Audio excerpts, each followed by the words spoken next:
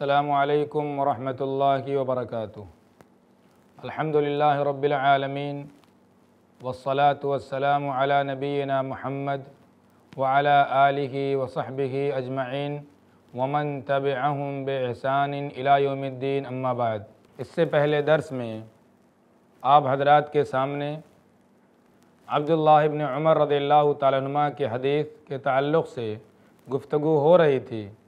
जिसमें नबी सल्लल्लाहु अलैहि वसल्लम ने सहाब कराम से सवाल किया था कि एक दरख्त ऐसा है जिसका पत्ता नहीं गिरता है और वो मोमिन की मिसाल है। आप लोग बताएँ वो दरख्त कौन सा है? और उसके बाद जब सहाब कराम ने दरख्त का सही नाम नहीं बताया और उसके बाद जब सहाब कराम उस दरख्त का सही नाम नहीं बता सके तो नबी सल्लल्लाहु अलैहि वसल्लम ने ख़ुद बताया कि ये खजूर का दरख्त है। और ये बताया गया था कि इमाम बुखारी रहमहुल्लाह ने इस हदीस को यहाँ पर एक ख़ास मकसद के तहत ज़िक्र किया है, ताकि ये बताया जाए कि तालीम व ताल्लुम के आदाब क्या हुआ करते हैं। इस हदीस से हमें और आपको मालूम ये होता है कि हमें तालीम का तरीक़ा क्या अपनाना चाहिए, जिससे कि लोग शौक़ से सीख सकें और जो बातें लोग सीखें उनके दिन और दिमाग में वो बातें बैठ जाएँ। चुनानचे नबी सल्लल्लाहु अलैहि वसल्लम का ख़ास तरीक़ा था तालीम में कि नबी सल्लल्लाहु अलैहि वसल्लम तालीम के लिए सवाल जवाब का तरीक़ा अपनाया करते थे। सामीन से और जो लोग सामने हुआ करते थे, उनसे पहले कोई सवाल करते थे ताकि उसके बाद वो लोग उसके बारे में गौर करें, देखें और जो ये सवाल जवाब का तरीक़ा हुआ करता है, इसकी वजह से जो इल्म की बातें होती हैं, वो इंसान के जहन और दिमाग में ज़्यादा बेहतर तरह से बैठ जाया करती हैं। इसी तरह से इस हदीस से ये भी मालूम हुआ हम और आपको कि नबी सल्लल्लाहु अलैहि वसल्लम इल्म की नहायत अहम अहम बातें और अहम अहम शर, शर्ई मसाइल प्यारे नबी सल्लल्लाहु अलैहि वसल्लम कभी कभार पहली के अंदाज में समझा दिया करते थे।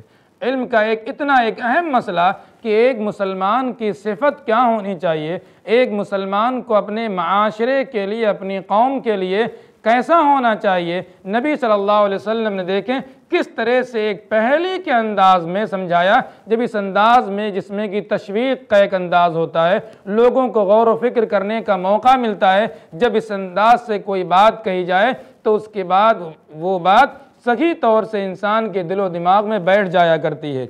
इसी तरह से नबी सल्लल्लाहु अलैहि वसल्लम ने सबसे पहले साहब कराम से एक सवाल किया और सवाल करने के बाद साहब कराम को कुछ देर सोचने का मौका दिया। इसी तरह एक उस्ताद को चाहिए, एक टीचर को चाहिए कि जब तलबा को कोई बात समझाना हो तो पहले उनसे कोई सवाल किया जाए ताकि वह अपने दिमाग को हरकत दें। कुछ सोचें और देखें कि उनके दिमाग की रसाई कहाँ तक है, उनकी पहुँच कहाँ तक है, क्या दिमाग उनका वहाँ तक पहुँच सकता है नहीं पहुँच सकता है। और जब एक इंसान बहुत गौर व फ़िक्र के बाद भी कोई बात उसे समझ में नहीं आती है और उसके बाद कोई बात बताई जाए तो उसके बाद वो बातें इंसान के जहन में बैठ जाया करती हैं। तो नबी सल्लल्लाहु अलैहि वसल्लम इस तरह का अंदाज अपनाया करते थे अपनी तालीम के अंदर, ताकि कोई भी बात जो बताई जा रही है, वो बात इंसान को याद हो जाए और महफूज हो जाए। इसी तरह इस हदीस से हमें ये मालूम होता है कि दीन के जो अहम मसाइल हैं, अहम बातें हैं, और एक मोमिन की सिफात क्या क्या होनी चाहिए? नबी सल्लल्लाहु अलैहि वसल्लम किस प्यारे अंदाज में सहाब कराम को बता दिया करते थे, समझा दिया करते थे। लिहाजा आज ज़माने के अंदर टीचिंग का तरीक़ा क्या होना चाहिए? एक मदरस को, एक मालम को क्या तरीक़ा अपनाना चाहिए? उसके ऊपर बाकायदा उसकी क्लासें होती हैं, उसकी ट्रेनिंग दी जाती है। ज़रूरत इस बात की है, हम अपने नबी सल्लल्लाहु अलैहि वसल्लम की ज़िंदगी में देखें कि नबी सल्लल्लाहु अलैहि वसल्लम तालीम का क्या तरीक़ा अपनाया करते थे और कौन सा वो तरीक़ा अपनाया करते थे नबी सल्लल्लाहु अलैहि वसल्लम, जिससे आप सहाब कराम के दिलो दिमाग में बातें बैठा दिया करते थे और इस तरह बैठा दिया करते थे कि वो बातें सहाब कराम को उसके बाद ज़माने तक याद रहा करती थी। ये भी आता है नबी सल्लल्लाहु अलैहि वसल्लम के बारे में कि बसा अवकात आप सल्लल्लाहु अलैहि वसल्लम इल्म की इल्म की बातें एक बार नहीं, बल्कि दो बार, तीन तीन बार फरमाया करते थे नबी सल्लल्लाहु अलैहि वसल्लम, ताकि लोगों के जहन दिमाग में वो बातें सही तरीके से बैठ जाया करें। लिहाजा हमें चाहिए कि जो तालीम का तरीक़ा कहीं और तलाश करने के बजाय हम अपने प्यारे नबी सल्लल्लाहु अलैहि वसल्लम की ज़िंदगी में तलाश करें कि प्यारे नबी सल्लल्लाहु अलैहि वसल्लम का तरीक़ा तालीम क्या था और लोगों तक इल्म मुंतकिल करने का तरीक़ा क्या था? एक और अहम मसला, एक और अहम बाब जो इमाम बुखारी रहमहुल्लाह ने अपनी किताब में ज़िक्र किया है, वो है अलम कबल कौल वलअमल इल्म कौल और अमल से पहले है। क्या मफहम है इस बाब का? कि इल्म का मर्तबा और इल्म का मकाम एक तो कौल अमल से बढ़ा हुआ है। दूसरे, इल्म ये कौल अमल से पहले है, यानी कबल इसके कि हम कोई अमल करें, कबल इसके कि हम कोई बात अपनी ज़बान से निकालें, हमें चाहिए कि उससे पहले उसके बारे में हम इल्म हासिल कर लें। जब तक हमारे पास किसी ताल्लुक़ से इल्म ना हो तो इल्म के बग़ैर हमें और आपको ना तो अपनी ज़बान खोलनी चाहिए और इल्म के बग़ैर ना हमें अमल करना चाहिए। जब दुनिया का कोई हम काम करना चाहते हैं तो उससे पहले हम उसके बारे में मालूम हासिल करते हैं कि इस काम को किस तरह से करना होगा और किस ढंग से करेंगे तो हमें फ़ायदा मिलेगा और किस तरह से किया तो हम नुकसान में पड़ जाएँगे। तो जिस तरह से हम दुनियावी अमूर के अंदर कोई भी काम करने से पहले उसके ताल्लुक़ से मालूम हासिल करते हैं ऐसे जो दीनी मसाइल हैं, दीनी अहकाम हैं, उनको भी अपनी ज़बान से कहने से पहले और उस पर अमल करने से पहले हमारे लिए ज़रूरी है कि उसके ताल्लुक़ से हमारे पास इल्म होना चाहिए। ये इल्म की अहमियत है और इल्म की फजीलत है कि ये इल्म, ये मुकदम है कौल और अमल पर। आगे इमाम बुखारी रहमल्ला ने फरमाया है लकौल ला फ़बदा बिल्म क्योंकि अल्लाह सुबहान ताली का इरशाद है फ़ालम अन्नहु ला आप इस बात का इल्म हासिल कर लीजिए। ये बात आप जान लीजिए कि अल्लाह सुबहान ताली के अलावा कोई और इला नहीं है। तनहा अल्लाह सुबहान ताली इला है। इस आयत के बारे में फरमाते इमाम बुखारी रहमल्ला फ़बद आबिलम अल्लाह सुबहान ताली ने यहाँ पर आगाज़ इल्म से किया है और कहा फ़ालम अन्नला सबसे पहले आपके पास इस बात का इल्म होना चाहिए कि अल्लाह सुबहान ताली के अलावा कोई इला नहीं। इसका इल्म हासिल करे इंसान। इस आयत के अंदर अल्लाह सुबहान ताली ने अपने बंदों को इस बात का हुक्म दिया है कि उस बात का इल्म हासिल करें कि अल्लाह सुबहान ताली के अलावा कोई उनका इला नहीं। जो भी तरीक़े इसके हो सकते हैं, इस इल्म को हासिल करने की, उन तरीक़ों से इंसान इल्म हासिल करे चाहे वह अल्लाह सुबहान ताली के असमा सिफ़ात में गौर करके, तदब्बर करके कि जिस अल्लाह की और जिस रब की ये सिफ़ात हों और इन आला सिफ़ात का हामिल हो, उसके अलावा और किसी को जेबा नहीं कि हमारा इलाह हो सके।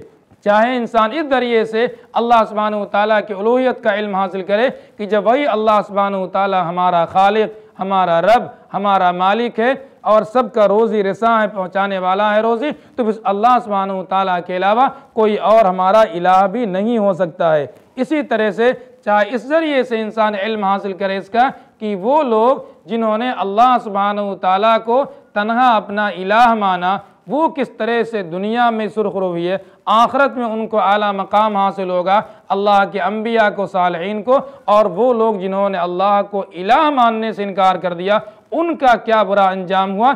इससे भी इंसान देखे और सोचे कि अल्लाह सुबहान ताली ही हमारा तनहा इला है और अल्लाह के अलावा कोई और इला नहीं है।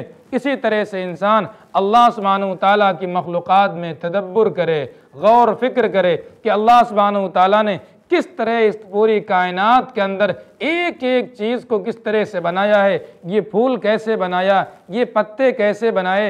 ये अंडे से अल्लाह सुबहान ताली कैसे जानदार चीज़ों को निकाल देता है? इंसान अगर अल्लाह सुबहान ताली की मखलूक़ात में गौर फ़िक्र करे तो इंसान को मालूम हो जाएगा कि अल्लाह सुबहान ताली के अलावा कोई इला नहीं। अल्लाह सुबहान ताली इरशाद फरमाया है इन नफ़ी खलक़मावत वलअर्द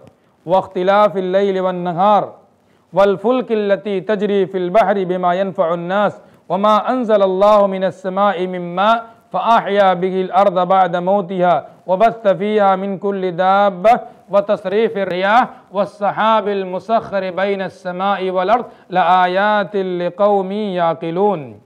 फरमाया अल्लाह सुब्हानहु तआला ने कि बेशक आसमानों और ज़मीन की तख्लीक, रात और दिन का आना जाना इसी तरह से पानी के ऊपर कश्तियों का तैरना, ढेर सारा बोझ लेकर के और उनका पानी के अंदर डूब न जाना।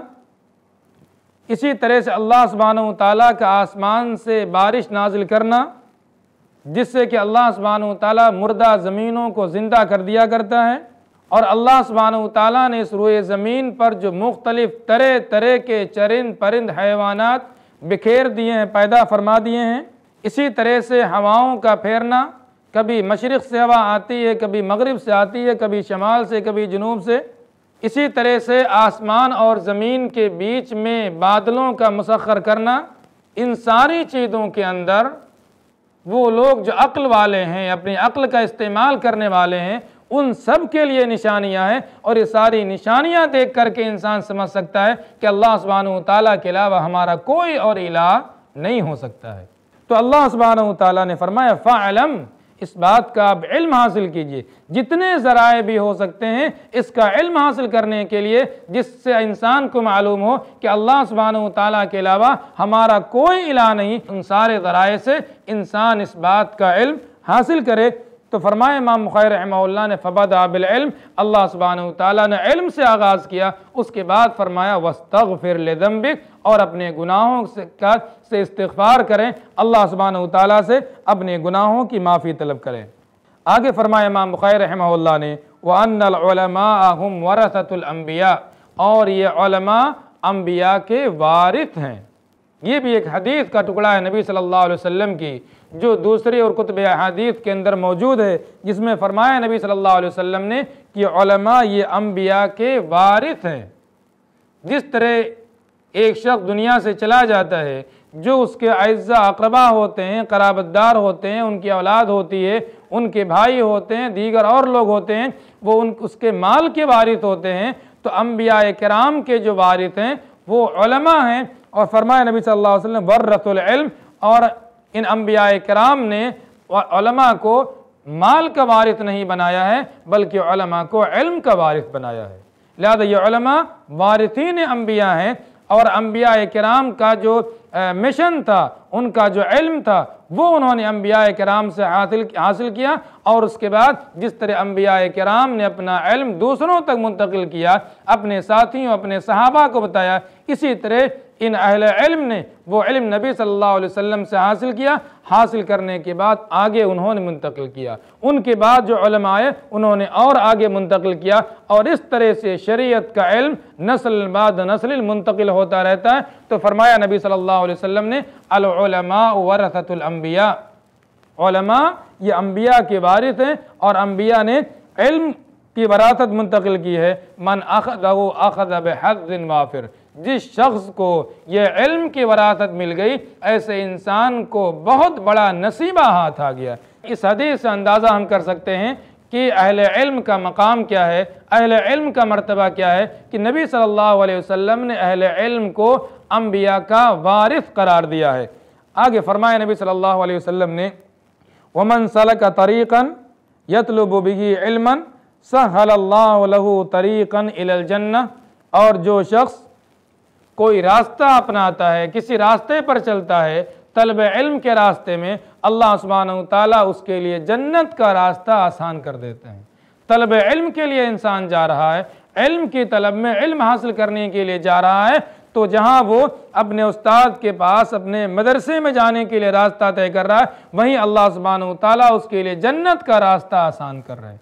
ये है तलब इल्म की फजीलत कि अगर इंसान इल्म तलब करने के रास्ते में निकलता है। अल्लाह ताला उसके लिए जन्नत का रास्ता आसान कर देते हैं और इसी तरह से अल्लाह सुबहान ताला का इरशाद है इन नमा यक्श मिन अल्लाह सुबहान ताला से उसके बंदों में वो लोग डरते हैं जो होते हैं, अहल इल्म हुआ करते हैं। अब्दुल्ला इबन अब्बास रदील्ला तुमा ने इस आयत की तफसीर करते हुए फरमाया है कि इन नमा यक्श मिन इबाद इबादमा कि अल्लाह के बंदों में वो लोग अल्लाह ताला डरते हैं जो आलिम होते हैं। आलिम से मुराद उन्होंने बताई है कि आलिम से मुराद ये है, मन अलिमा कुदरत हो व सुल्तान हो वो लोग जिन्हें अल्लाह सुबहान ताला की कुदरत कामिला का इल्म होता है। वो लोग जिन्हें अल्लाह सुबहान ताला की सुल्तान और उसकी कुदरत का इल्म होता है और जो लोग जानते हैं कि अल्लाह सुबहान ताली हर चीज़ पर कादिर है और हमारे साथ कुछ भी कर सकता है, अल्लाह सुबहान ताली, ऐसे वो लोग हैं जो जो अल्लाह सुबहान ताली की खशियत जिनके यहाँ होती है, अल्लाह सुबहान ताली का खौफ ऐसे लोगों के दिलों के अंदर हुआ करता है। आगे इसी तरह से इमाम बुखारी रहमल्ला ने एक और कुरान की आयत ज़िक्र की है, फरमाया अल्लाह ताला ने, वमा याकिलुहा इल्लल और जो अल्लाह सुबहान ताली मिसालें बयान करता है कुरान मजीद के अंदर लोगों को समझाने के लिए, इन मिसालों को सही तौर पर वही लोग समझते हैं जो अहल इल्म हुआ करते हैं, जिनके पास इल्म मौजूद हुआ करता है। इसी तरह से क़्यामत के दिन वो लोग जो जहन्नम में डाल दिए जाएँगे, वो लोग क्या कहेंगे? कुरान मजीद में अल्लाह सुबहान ताली ने बयान फरमाया है, वक़ालू लवकुन्ना नस्म अवनाकिल माँ कुन्ना फ़ी असहाब सैर वो लोग कहेंगे कि अगर हम दुनिया के अंदर अहल इल्म की बातें सुनते, हम उनके बारे में गौर फ़िक्र करते, उनको समझते तो आज हम ये जहन्नमियों में से ना होते। लेकिन दुनिया के अंदर चूँकि हमने अहल इल्म की बातें नहीं सुनी की बातें नहीं सुनी, इसी तरह से हमने अम्बिया कराम की बातें नहीं सुनी और उनकी बातों पर अमल नहीं किया। आज हम यहाँ पर आज जहन्नम में आए हुए हैं। इससे भी मालूम होता है कि इल्म की बातें सुनने और उनके मुताबिक अमल करने की अहमियत कितनी ज़्यादा है। इसी तरह से नबी सल्लल्लाहु अलैहि वसल्लम का यहाँ पर एक कौल भी नकल किया है इमाम बुखारी रहमल्ला ने। मैं युरदिल्ला बी खैरन यु फ़क़ हो फिद्दीन इल्म की फजीलत और इल्म का मकाम मरतबा और अहल इल्म की फजीलत यह है फरमाया नबी सल्लल्लाहु अलैहि वसल्लम ने कि अल्लाह सुबहान ताली जिसके साथ खैर का इरादा फरमाता है, उसे दीन की फ़िक्र और दीन की समझ अता फरमाता है। अगर अल्लाह सुबहान ताली ने किसी को इल्म की दौलत से नवाजा है फ़िक्र की दौलत से नवाजा है तो गोया कि अल्लाह सुबहान ताली ने उसके साथ खैर का इरादा फरमाया है, बेहतरी का इरादा फरमाया है, लिहाजा जिसको भी अल्लाह सुबहान ताली ने इल्मता फरमाया हो फ़िकता फरमाई हो, ऐसे शख्स को चाहिए कि अपने इल्म की कदर करे, अपने फ़िकी की कदर करे और ये समझे अपने बारे में कि अल्लाह सुबहान ताली ने मेरे लिए खैर का इरादा फरमाया है। इसी तरह से इमाम बुखारी रहमल्ला ने इस बाब के अंदर एक और मसला ज़िक्र किया और फरमाया, व इन नमल इल्म इल्म ये ताल्लुम से आता है। इल्म की ये फजीलत है, इल्म का ये मकाम मरतबा है लेकिन इल्म आता कैसे? है किस तरह से इंसान के पास इल्म आएगा? फरमा इन नमल इल्म बितल्लुम ये भी दरक़ीक़त एक हदीस का टुकड़ा है, जिसको इमाम मुखाई रहमा ने यहाँ पर अपनी किताब के अंदर ज़िक्र किया है कि इल्म ताल्लुम से आता है, इल्म सीखने से आता है, इल्म तमन्नाओं से नहीं हासिल होता है। अगर इल्म तमन्ना से हासिल हो जाता तो दुनिया के अंदर कोई भी इंसान जाहिल नहीं रहता कौन वो शख्स नहीं है जिसके पास इल्म की तमन्ना ना हो, इल्म की तड़प ना हो और इल्म ना चाहता हो कि हमारे पास इल्म मौजूद है। लेकिन इल्म ये तमन्नाओं से नहीं आया करता। इल्म आसानी के साथ नहीं आया करता। ला युद्रकुल इल्म बराहतिल जसद। ये इल्म वो चीज़ नहीं जो तन आसानी के साथ हासिल हो जाए। इल्म हासिल करने के लिए मेहनतें करना पड़ती हैं, मशक्क़तें करना पड़ती हैं। रात राग उसके लिए जागना पड़ता है। रातें आँखों में काटना पड़ती हैं। न जाने कहाँ कहाँ का सफ़र किया करता है। जब अल्लाह के नबी मूसा अलैहिस्सलाम को मालूम हुआ कि कोई दुनिया में अल्लाह का बंदा है, जिसके पास मुझसे ज़्यादा इल्म किसी ताल्लुक़ से मौजूद है, फ़ौरन कहा, ए अल्लाह सुबहान ताली फ़कई फली बिगी अल्लाह ताला, मैं कैसे उन तक पहुँच सकता हूँ? अल्लाह सुबहान तरीक़ा बताया और उसके बाद तलब इल्म के लिए मूसा आसमाम अल्लाह के नबी, लेकिन तलब इल्म के लिए उन्होंने सफ़र किया और जा कर के मजमा बहरे पहुँचे और वहाँ खदर आसमाम से जा कर के उन्होंने कस्ब फ़ैद किया, इल्म हासिल किया। इसी तरह साहब कराम का यह हाल था कि एक सहाब रसूल जाबिर बिन अब्दुल्ला रदी तु ने एक हदीस का इल्म हासिल करने के लिए उन्होंने सुना कि नबी सल्लल्लाहु अलैहि वसल्लम की एक हदीस है जो मैंने नहीं सुनी है, कोई सहाबी शाम के अंदर है, उन्होंने सुन रखी है, लिहाजा उन्होंने सवारी ख़रीदी, सफ़र करके गए, एक महीने का सफ़र करके गए और सफ़र करने के बाद जाकर के शाम पहुँचे। और वहाँ जाकर के उन्होंने वो हदीस सुनी और हदीस सुन कर के वहाँ से वापस आए। साहब रसूल जाबिर बिन अब्दुल्ला रदील्ला तुमा तो एक एक हदीस के लिए साहब कराम एक एक महीने का सफ़र किया करते थे। ये मोराब जो आज इन अहादीस को पढ़ रहे हैं और इस काबिल हुए कि इन अहादीस को नबी सल्लल्लाहु अलैहि वसल्लम की ज़िंदगी का हम मुताला कर सकें, आपकी तालीमत को पढ़ सकें, सुन सकें, ये इन्हीं लोगों की मेहनत का नतीजा है कि एक एक हदीस के लिए महीनों का सफ़र किया करते थे।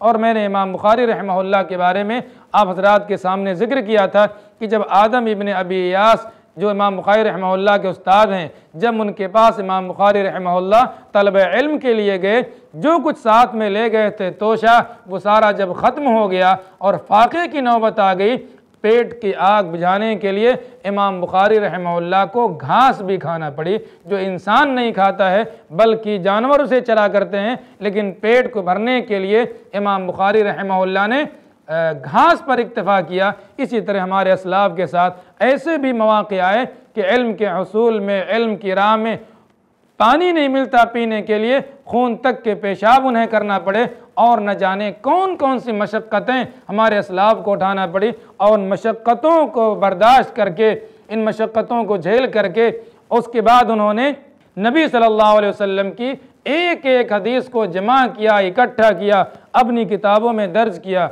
और उसके बाद आज कुछ लोग ऐसे पैदा होते हैं जो आसानी से कह देते हैं कि हदीसें गैर मोतबर हैं। नबी सल्लल्लाहु अलैहि वसल्लम की वह हदीस जिनको इस तरह से छान फटक करके और मेहनत करके इन हमारे असलाफ ने जमा किया, अपने कमरों में बैठ करके, घरों में बैठ करके फरमाया था नबी सल्लल्लाहु अलैहि वसल्लम ने कि कुछ लोग ऐसे आइंदा आएँगे कि पेट भरा हुआ है, अपनी मसनदों पर बैठे हुए हैं और वो कहेंगे कि हमारे लिए कुरान मजीद काफ़ी है। सिर्फ़ कुरान मजीद से हम बयान करें बाकी हमारे सामने कोई और चीज़ नबी सल्लल्लाहु अलैहि वसल्लम की हदीस हमारे सामने बयान ना करें।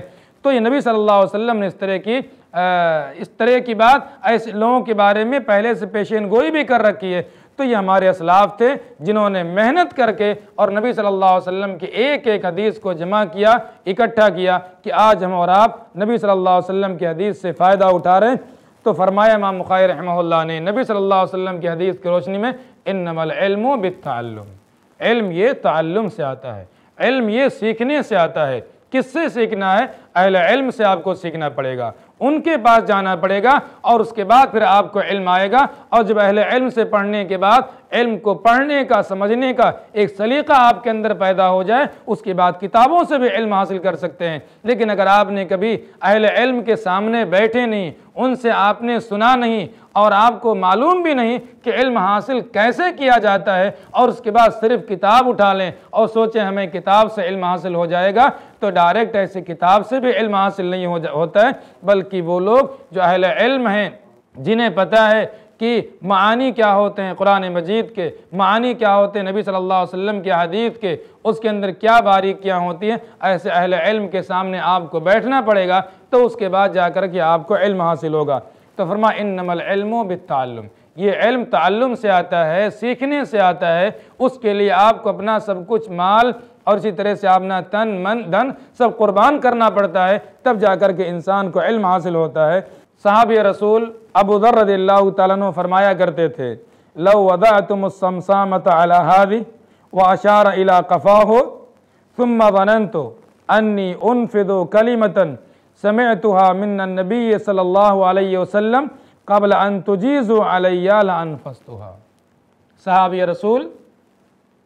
अबू दरगफ़ारी रदी अल्लाह तु फरमाते हैं कि अगर आप लोग तेज़ तलवार मेरी गुद्दी पर और यहाँ गर्दन के ऊपर रख दें, और अगर ये मुझे मालूम हो कि कबल इसके कि मेरी गर्दन पर तलवार चल जाए, और उससे पहले मैं नबी सल्लल्लाहु अलैहि वसल्लम से सुनी हुई कोई हदीस आप तक मुंतकिल कर सकता हूँ तो उस हदीस को ऐसी सूरत भी में भी मुंतकिल करने से दरेग नहीं करूँगा। कि अगर इतना सा मौका मेरे पास मौजूद है कि दुनिया दुनिया से जाने से पहले, तलवार चल जाने से पहले, एक भी हदीस में आप तक मुंतकिल कर सकता हूँ तो हदीस वो मुंतकिल करके रहूँगा। आप देखें साहब कराम क्या, कैसे हिरस थी नबी सल्लल्लाहु अलैहि वसल्लम की सुन्नतों को दूसरों तक मुंतकिल करने की, पहुँचाने की, चूँकि नबी सल्लल्लाहु अलैहि वसल्लम की तलकीन थी साहब कराम को कि बल्लगो अन्नी, मेरी तरफ़ से आप लोगों को पहुँचाएँ लियबल्लग शाहिदुलगाइब जो लोग अभी मौजूद हैं, वो मेरी बातें आइंदा आने वाले लोगों तक मेरी बातें पहुँचा दें। साहब कराम, इल्म की बातों को मुंतकिल किया करते थे, दूसरों तक पहुँचाया करते थे। इसी तरह अब्दुल्ला अब्बास रदील्ला ने फरमाया है, अल्लाह सुबहान ताली की इस कौल, कून रब्बानी इन की वजाहत करते हुए हलमा फ़ुकहा कि आप लोग रब्बानी बन जाएँ, यानी आपके यहाँ हिल मौजूद हो, बुरदबारी मौजूद हो, अक्ल मौजूद हो, फ़ुकाहत आपके यहाँ मौजूद हो, इल्म आपके यहाँ मौजूद हो, जब ये सारी चीज़ें आपके यहाँ मौजूद हों तो फिर आप रब्बानी कहलाएँगे। अब इसी पर यह दर्स हमारा मुकम्मल होता है। इन कुछ और बातें जो इस ताल्लुक़ से रह गई हैं, वो अगले दर्स में आप हजरात के सामने पेश की जाएँगी। वालकम वरहमल वर्का